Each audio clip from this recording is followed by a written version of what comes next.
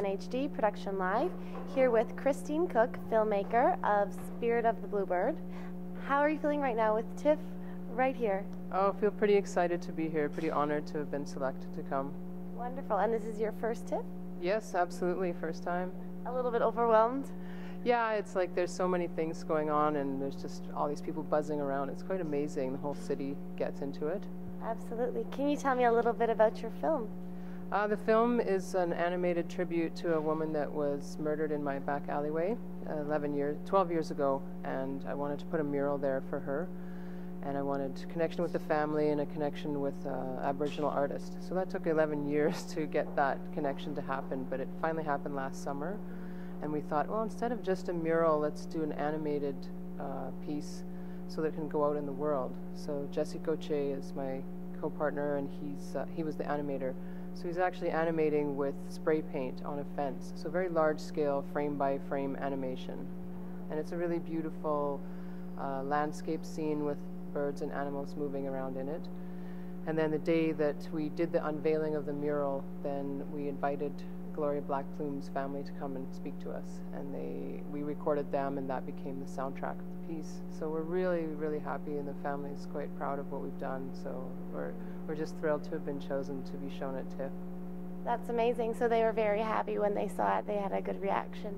Yeah, like we went through a few edits and they, they became so they're very proud of it. And we're actually bringing Gloria's daughter, Kaylee Bird, here to be part of uh, the screening. And she's never even flown in a plane before, so she's really nervous. Wow. but we're just, without her, we couldn't have made the film we did. Like just the involvement of herself and her family members was really important part of it. That's wonderful taking a devastating event and then turning it into art. I think it's a very powerful way to do something. Yeah, well, you have to believe that art can change the world, and you don't always understand how it goes out and changes things. But we um, we know that just honoring her memory and also her murder was never um, her murderers were known, but they didn't get punished. So even that, the family felt very shafted by the justice system, and so even that a total stranger would do something for their mother and grandmother, they're really quite touched that we would do that. And when and where is the film screening at TIFF?